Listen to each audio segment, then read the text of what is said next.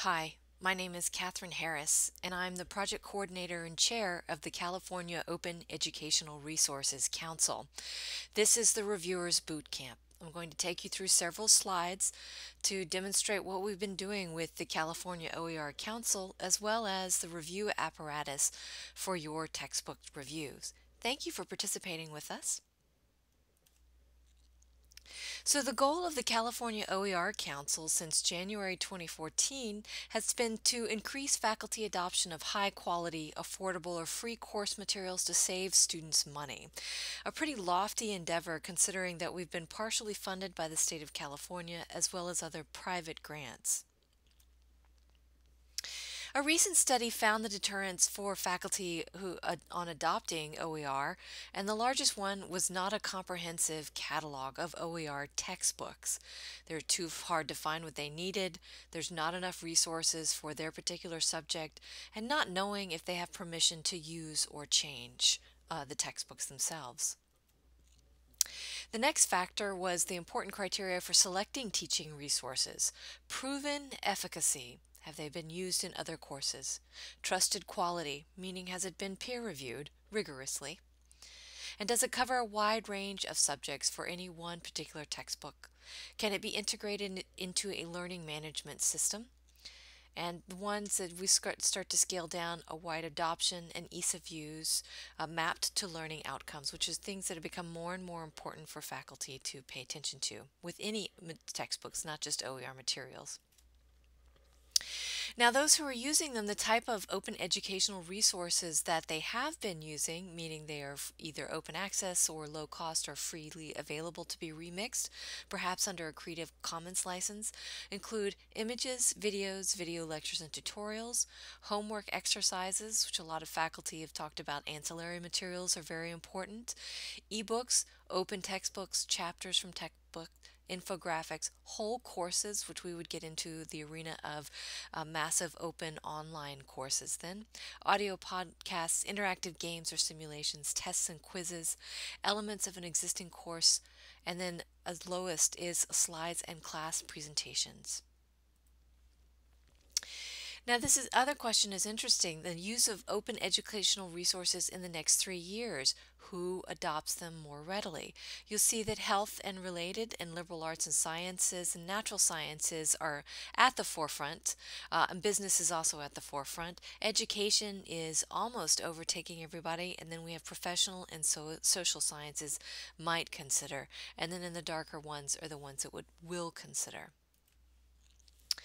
Our job in the California OER Council is to significantly improve the affordability of this quality higher education for students in the state of California and across the nation.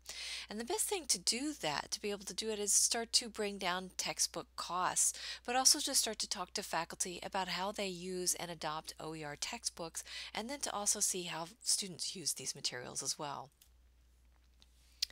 Just a little bit of background. We've been in the works since 2012. We got our complete funding by December 2013. By January 2014, nine members were assembled and we were off and running and we've just uh, and, and we've been working through some of the things that were required by these state bills. They were signed State Bills 1052 and State Bill 1053 to create two things. State Bill 1052 was authorizing the creation of the council itself. 1053 was to create an open source digital library. The CSU, the California State University, was de designated as the leadership organization to manage the project.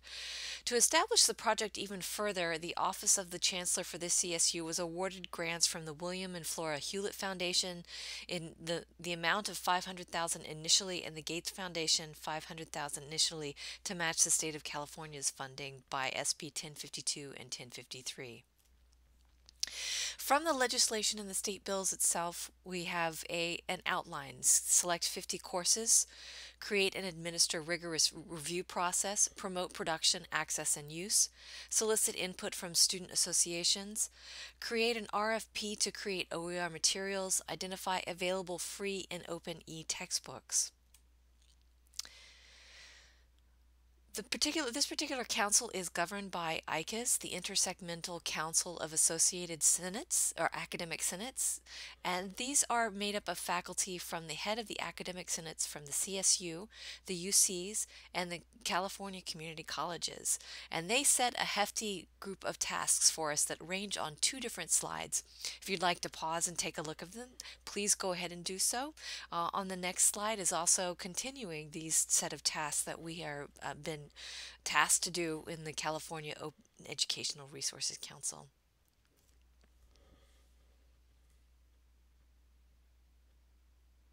You'll notice that we get all the way down to number 11 and we continue to grow this list and it will grow according to the California OER web pages too. You can check back there to see what's going on. Also our Facebook page.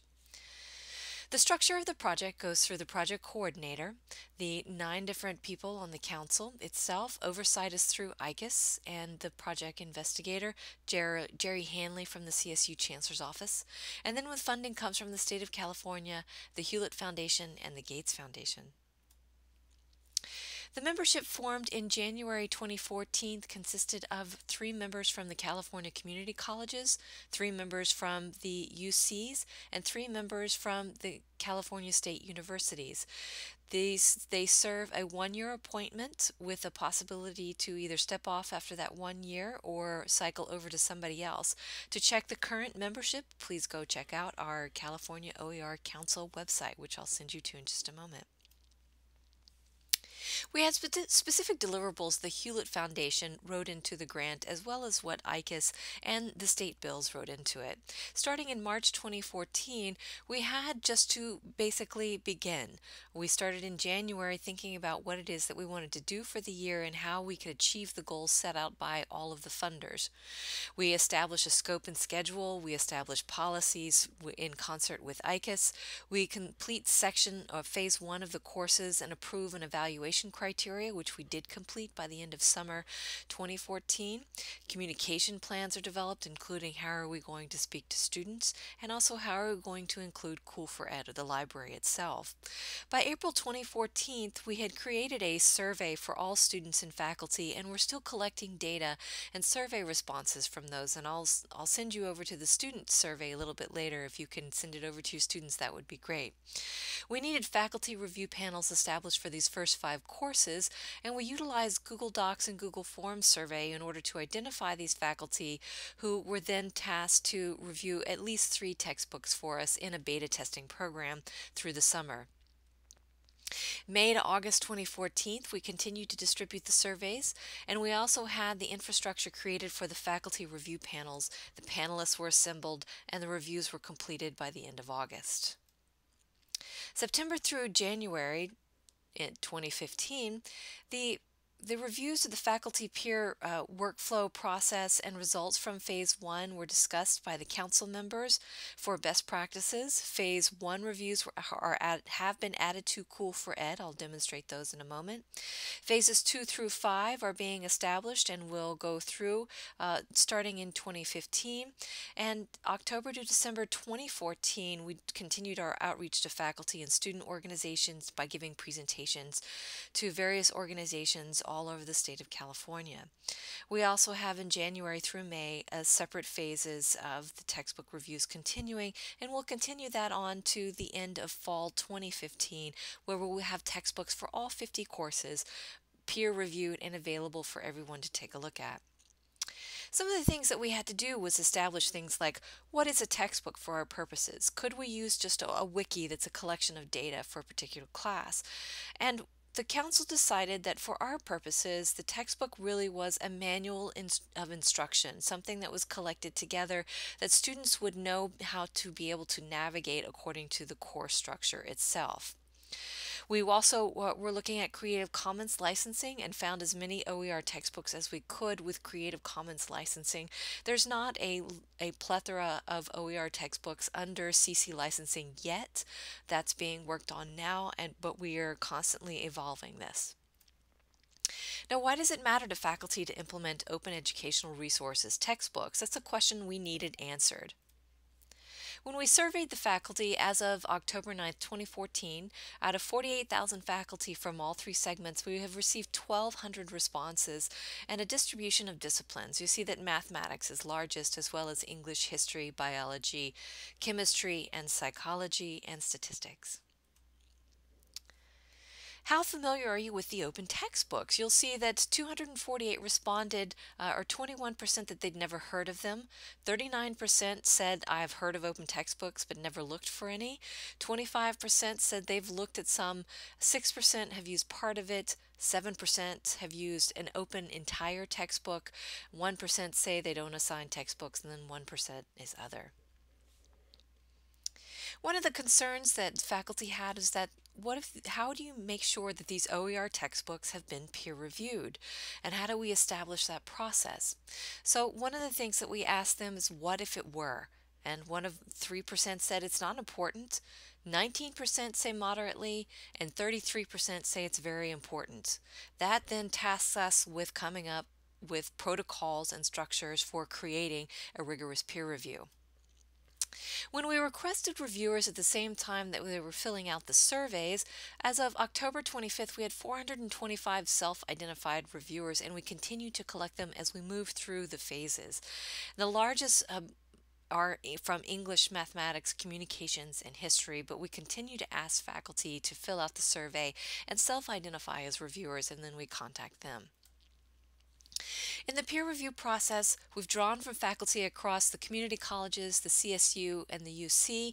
Ideally, we have a panel that you are working with anonymously, one from a community college, one from a CSU, and one from a UC. All of the faculty are self-identified based on their responses to the survey, and they are competitively assembled panels, meaning they're anywhere from uh, 5 to 15 to perhaps 20 who have applied to be on the panel itself. In selecting the panelists, like I said, one panelist uh, from each of the three segments, there's a balance of experience with OER materials, and there's a balance of the places in their careers. We're using lecturers and part-timers all the way up to full professors. We're looking for people who are making policy, people who are interested in OER, people who have never used OER materials but are curious about them, people who have faculty who have used OER materials and textbooks already their classrooms. So there's a wide selection of, of faculty who are doing these reviews overall. One of the things that I want to be clear about is that these resulting reviews are public along with names and institutions of each faculty member. This allows other faculty members who are looking over the reviews to assess if it's good for their particular audience of students. And we are finding that community college faculty really want to be able to see the reviews by other community college faculty, the same with the UC and the, and the CSU faculty as well. How can you find these reviews by panelists? Well, we have a site. It's called Cool for Ed, the course showcase. You can go to the actual course It'll be listed under the CID number, the title, Introduction to Chemistry, its general course description, and then you'll see that there's four selections and underneath is Go to Open Textbook Peer Reviews. And now we've added a new tab to Cool for Ed, and I'm going to take you over there momentarily. Cool for Ed is the actual digital library where you can find all of these OER textbooks and then see the reviews that go with them. There's a course showcase, which is what I just showed you. There's a faculty showcase, so you can see all of the courses that ha have faculty who offer an e-portfolio. And then there's reviews in the drop-down box. Perhaps let's look at Introduction to Chemistry. So with this particular CID identified course, there are three textbooks that e-textbooks that were identified. And then we have three different reviewers for each of the textbooks. When we click on that, it opens up into a PDF. And then faculty can read through the rigorous peer review itself for all of these textbooks. You can see an overall review summary, subject matter, instructional design, editorial aspects, access.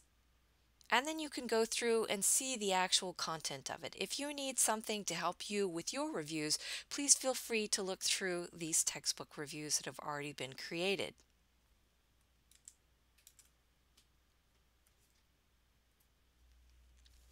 The next is that we surveyed the faculty to ask them about their desire to reduce costs to students if they were to create a textbook.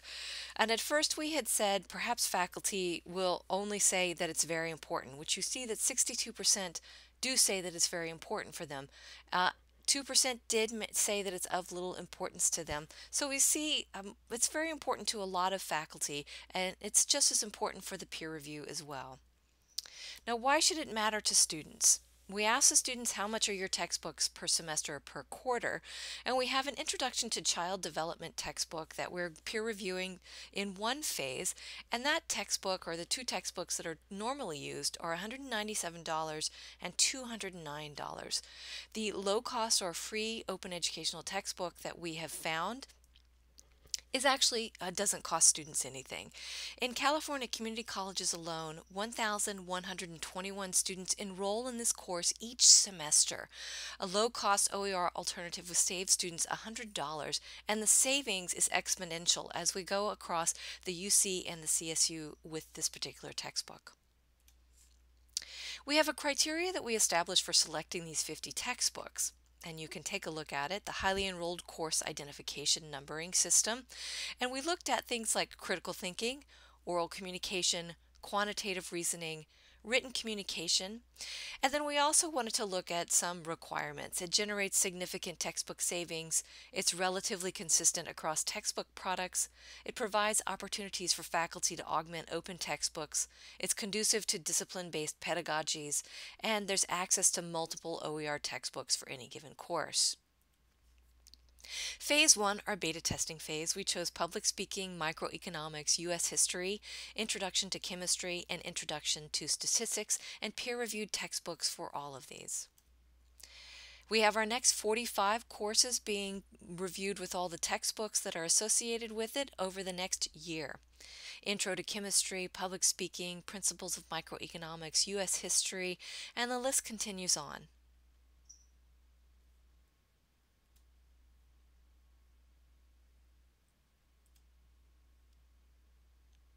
We do have these organized into phases and so that there's a balance in each phase from different disciplines and different categories of disciplines.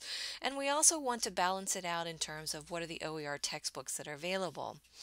You can see a list of the accompanying textbooks for all of these courses by going to the URL at the bottom and you can, it's a work in progress so it is a it's a Google Doc that we're constantly working on you'll see at least uh, anywhere from one to five textbooks and notes about that particular course, the CID descriptor, as well as the order in which these courses are all going to be reviewed and in which phase.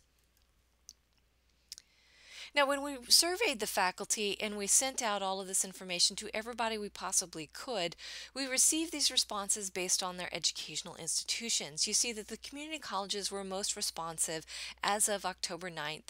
The four-year colleges and the universities are divided down by state college, which is 11% return rate, and university, which means the UCs, which is a 34% uh, return rate in terms of how many faculty have actually filled it out. We're working on getting that amassed further. Out of the students is problematic. It's 140 responses as of October 25th, but we've established a Facebook campaign that's reaching out to our students. And if you can send that off to your students, we would be mighty appreciative of it. Here is the URL for the student survey. If you could distribute that to any of your students, it doesn't matter what course they're in, we would get a better student feedback. With the student involvement, we have some tasks that we wanted to integrate them, and this is why we also wanted to be able to contact them through the survey. So we distributed a survey. We wanted to identify student review panelists for fall 2015, ask student panelists to assess these textbooks.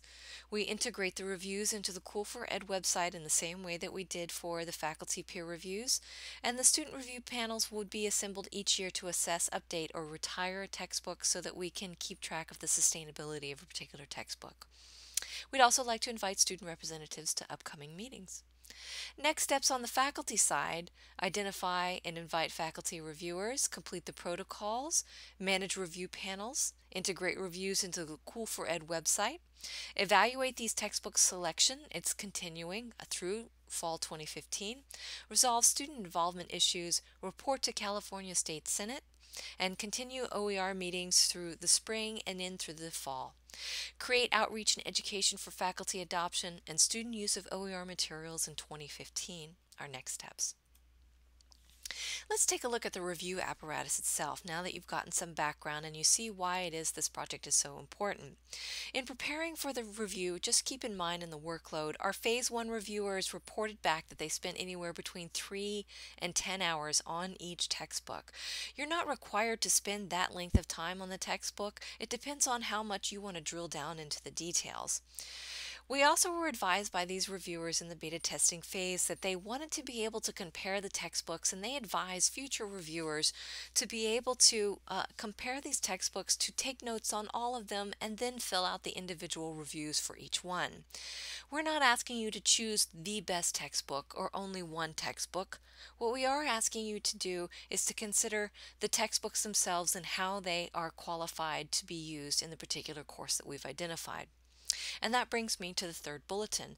The CID course description Reviewers are reviewing specific textbooks to accompany a specific course. Please read the course description before starting your review. You'll have access to that on your list of textbooks. Now, in writing the review, each review panel for each course has your unique review apparatus in Google Forms, along with a unique URL to lists of the textbooks to be reviewed. Please complete each criteria area. The written comments are not required, but they've been incredibly helpful for us and for faculty who are looking at the reviews. I want to take you over momentarily to that actual Google form.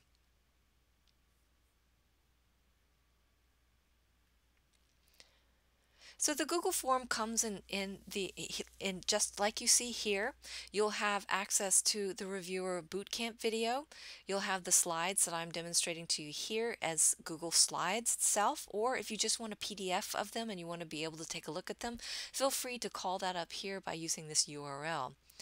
We've established this rubric based on what we found in Achieve, and we've assigned a series of points to subject matter, instructional design, editorial aspects, ease of use, and overall impression with a total possible score of 125 points. And here, if you skip down, the next one that you'll see is that a URL for your textbooks itself.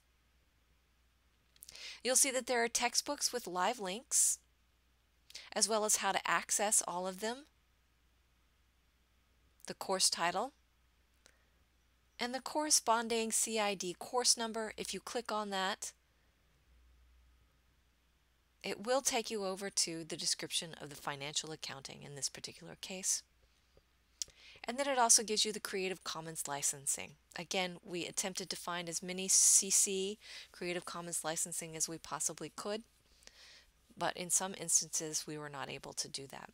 In any event, you should have free access to all of these textbooks in order to be able to review them. If you find that you do not have access to them, please email Catherine Harris, the co uh, coordinator, immediately, and I will gain you access to that.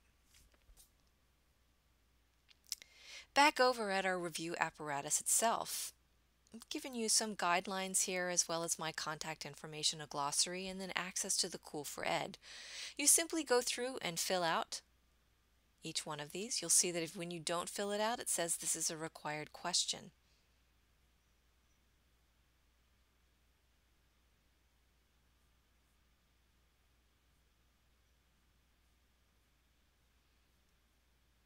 When you're done with your reviews, please be sure to click Submit.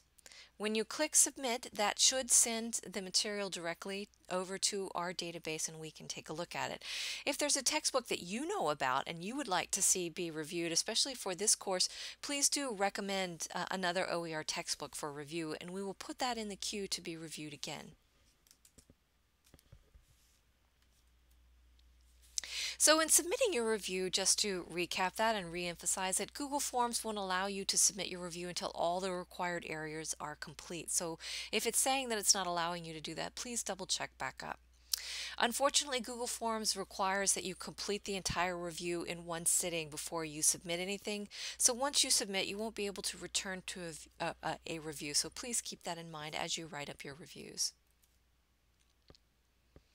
After the review and publishing it. So each review will be available on the Cool for Ed website, complete with the reviewer's name and the affiliation. It'll be in PDF form, or if we can move forward with technology and work quickly, we will have a way to demonstrate it online.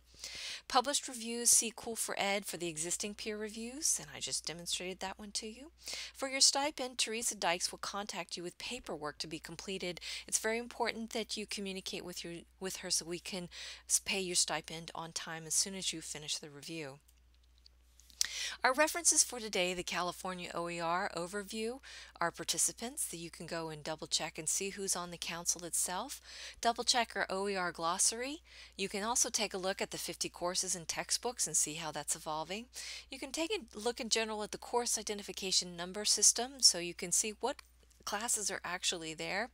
And we also use this as highly enrolled courses according to the CID, and we use that to find out which would be our best 50 highly enrolled courses to use for this project.